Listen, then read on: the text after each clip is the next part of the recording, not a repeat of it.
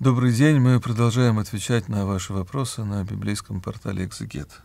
Вы спрашиваете, стоит ли доверять своей интуиции. Вот интересный очень вопрос, замечательный. А, смотрите как. А, когда у отцов спрашивали, вот моя мысль или мой сон, он от Бога или не от Бога, то они, как правило, отвечали, что если будет известие какое-то от Бога в твоем сне или в каком-то видении, то у тебя не будет ни одной там миллиардной доли сомнения в том, что это от Бога. То есть ты получишь это извещение точно совершенно.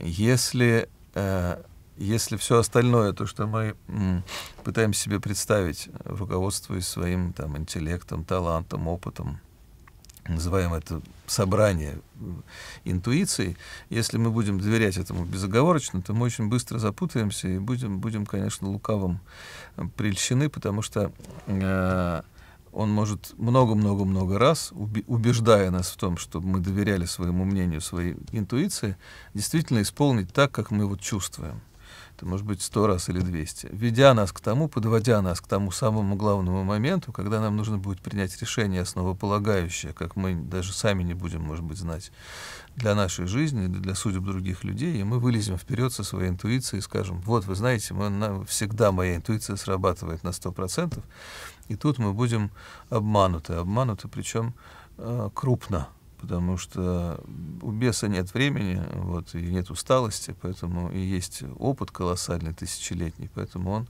найдет возможность, как нас к этому привести.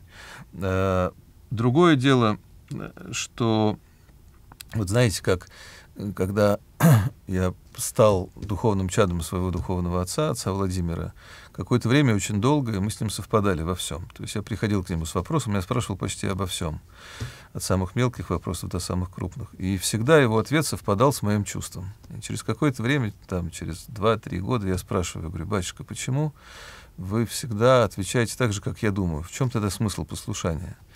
Он мне сказал, ну я ведь оставляю за собой возможность сказать нет, вот сказать по-другому. Я говорю, а, да, конечно, конечно. Но когда мне первый раз сказали нет, когда я в очередной раз был уверен, что моя интуиция меня не подведет, и что мы во всем совпадаем, и что вот я так прекрасно расту, и первый раз я услышал нет. Я был колоссально расстроен. Я стал возмущаться. Я стал говорить, подождите, подождите, может, вы меня неправильно поняли. Я еще раз вам постараюсь объяснить.